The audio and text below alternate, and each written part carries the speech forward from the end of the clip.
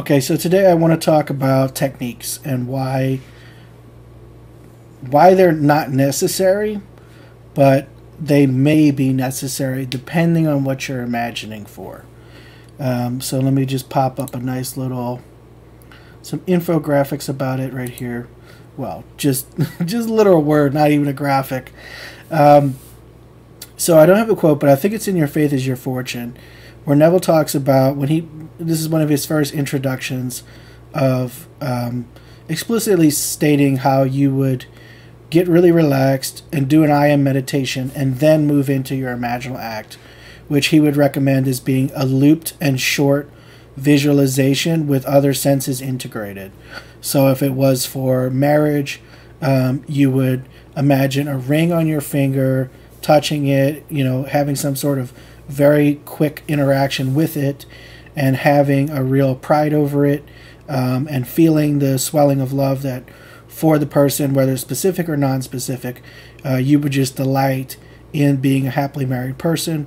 The, I'm just telling you his his recommendations, like the the ones that he said some a million times.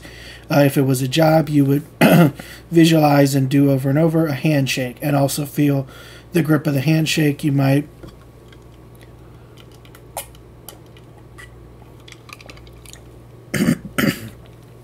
see and hear a specific person that you know would congratulate you, see their face and give them a quick line of dialogue.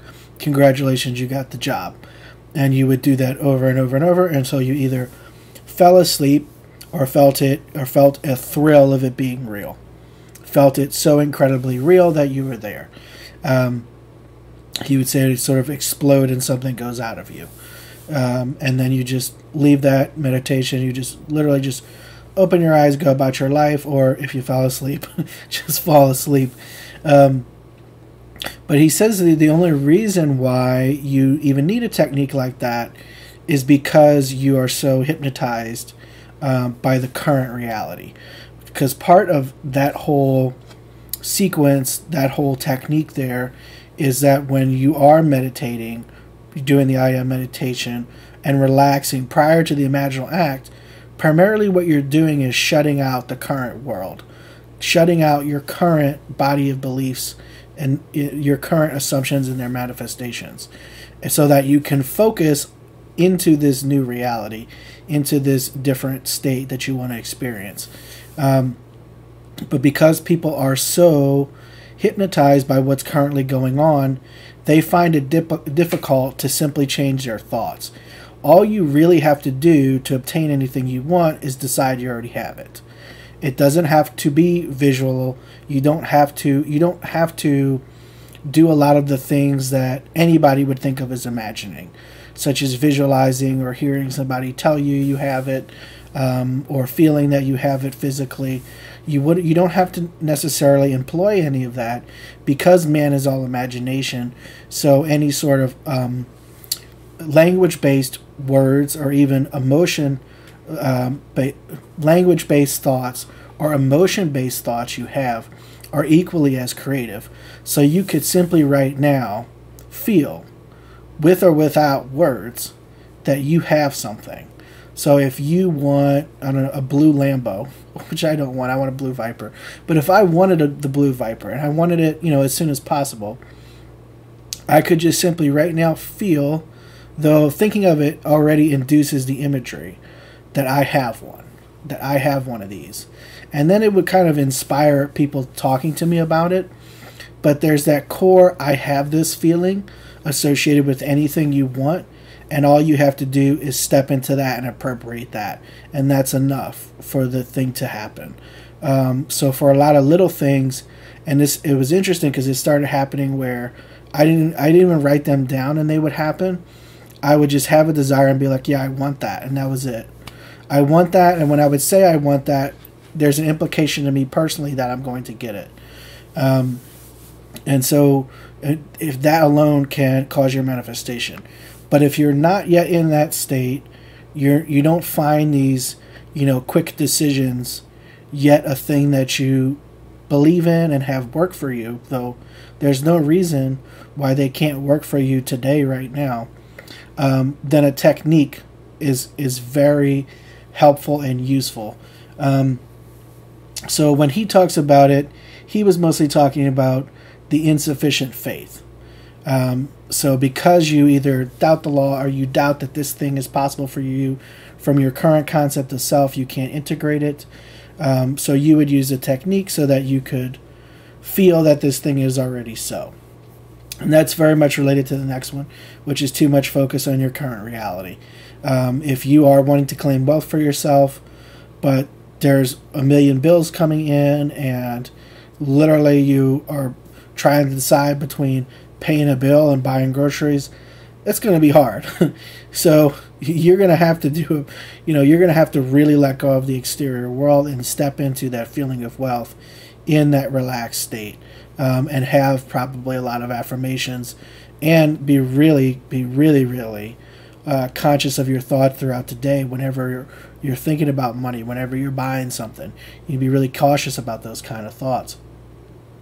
Um, and then the, the next is um, like as you start to manifest more and more things, have a lot more of your needs met, you will find this to be um, a really critical reason why you still use more advanced movements in mind or techniques, uh, which is that you want specific details. So, especially I find this when I'm imagining for how I want to renovate this place. I'm I'm very picky about everything, but even just for smaller things like how I want to organize my kitchen right now, um, you know there are there are very specific details I want. Like if I want a spice rack, I don't just want any spice rack. I want it to look and function in a certain way. And so I can go look and browse at items, but eventually I need to visualize it and I need to see it in the space. And so for me, that kind of visualization is very helpful to define what I want and give me some guidance on how um, it, just helps me get a better picture of what I want so that it's more it's far more likely to show up as a recommended item for me um, and especially when it comes to like how you want a certain relationship to play out. Um, you know you may be very specific about certain lines of dialogue you want the person to tell you. Um, so imagining hearing them telling you that or if you want a certain event to happen, sometimes it's it's useful to go with another person, to go with a um, a third person that you would talk to, and talk to them about how successful this event was for you, uh, related to the person you wanted to happen with. Um, those sort of imaginal techniques are very useful for getting those little details hammered in. Um, to give an example of what I'm talking about there, if you want to go to a concert, see a specific artist um, with your best friend or your partner. Let's say your your, your partner. Yes, you can imagine going to it with them, but you might find that you can include more details if you imagine talking to your best friend about having gone to that concert with your partner and all the things you guys did there together. You can certainly combine them. There's no reason why you can't do both. So it helps you more define a lot of those details you would like to have happen. Um, but my point is, imaginal techniques are useful there when you want all those little things worked in. Uh, really identify the state and bask in it. That's very much related to uh, the too much focus on current reality. Um, and the next one, know the thoughts and feelings of the state. So when your current reality is a little bit, is a little bit or a lot bit far from what you want to be experiencing regularly as your sort of default um, state, your default set of experiences. Um, really spending time, especially visualizing, helps you move your mind into that state. And instead of perpetually, as Neville says, thinking from and not of, uh, perpetual um, deferred occupancy, perpetual construction are these contrasted things here. You, what you want is occupancy. You want to step into already having this instead of always thinking about possibly having it. so, and if you look at things you have now, whether there are an some sort of aspect of who you are or physical objects, the way you think about them is different to how you thought about those things before you had them. So let's say, for example, um, well, here's here's one that would apply to a lot of people who are watching this.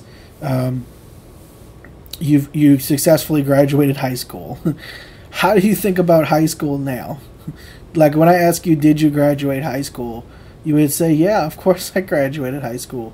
But for some people out there, maybe that would have been up in the air and, and for a little bit, or maybe you were just you could have been in a state where is this ever going to end? Uh, is it going to be this sort of like am I going to get into the unit? Like your thoughts, your thoughts when you were like a junior or a sophomore in high school were very different to your thoughts about high school now, where it's like, yeah, of course I graduated high school. That was way too many years ago. um, but I bring that up because that difference in thoughts is the difference between having the thing and not having the thing. Um, so if you live somewhere now that you prior wanted to live before, um, when you lived in a place that wasn't what you wanted, um, your thoughts about where you lived uh, were very different to your thoughts now where you live somewhere that you like, right?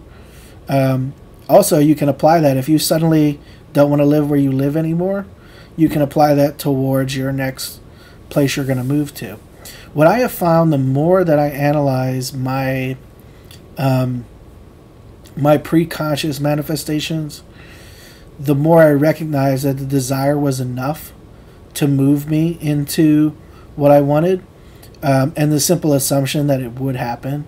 Like I don't care what has to happen, this is going to happen. Um, the the difference though, being preconscious and now conscious, is that even if the unfoldings are rocky still, because some of them are, are a little bit annoying still, I don't I don't have as much anxiety about that, and I still have the total confidence that I'm going to get what I want. Like I don't get I don't get as disturbed by the unfoldings, and my unfoldings are getting better altogether as you know, and as you move, as you progress in terms of your self concept, your unfoldings will get better. Um, they'll get faster. You can get impossibly fast ones. You encounter a lot more of it is already done type unfoldings, um, where there's zero effort involved. The literally the thing you want um, has already been made, and it can just show up in your reality instantly. Um, but so yeah, that is. I think that's a that hopefully that is a good enough explanation of why you would even want to use a technique you don't have to. Um, I, I, think currently, some one thing I'm noticing as a trend in the LOA space is that is an, an, an emphasis on affirmations, um, but the vain repetition kind of affirmations because you know once you have what you want, you're probably not going to be thinking about it that much. If you are a compulsive and obsessive thinker, perhaps but if you are that type of thinker, be careful about your affirmations because you may be using some that are sort of like kind of like the ones I have up on the screen right now where it's like you wouldn't think that about it. My little I am absolute freedom, I am totally devoted love, I am blissful joy. Now you can obviously focus on those things and experience them. But for the most part, if you're thinking about getting a car or a house or marrying somebody or getting a job or going on a trip or moving somewhere, most of the suggested stock affirmations are not actually what you're going to think about. So, for that reason alone, I think visualizing it will really help you identify the thoughts you would actually have once the thing is done. You know, it, it just will. Uh, but generally, you know, I don't think as many people are that compulsively looping their thoughts. Um, there's certainly not as many times as they would affirm for them. It's a very unnatural movement of thought. Um, so for for that reason alone, um, examining your the techniques that actually work for you, the movements in mind that actually work for you, might save you a ton of stress and and really just wasted wasted mental space. Um, and it's just one of these things. It's a little bit. I know, depending on the thing, I don't think that way. Sometimes I do, but depending on the thing, I usually don't think that way. especially with any kind of physical object, I don't I wouldn't be looping a ton of thoughts about I have this thing now. It would just kind of be, you know, the quick thrill, thrill of getting it and then it's just something I have in the house, you know. And that's how I've manifested a lot of physical objects that I wanted. Um, a lot of times, you know, folding is I buy them, but you know what? Also, a lot of times there's something really specific that's hard to find, like this freaking coaster. Like, as boring and basic as this looks, it's just a slate coaster. This was actually pretty hard to find, and it wasn't until I really vividly visualized it uh, that I found some for sale.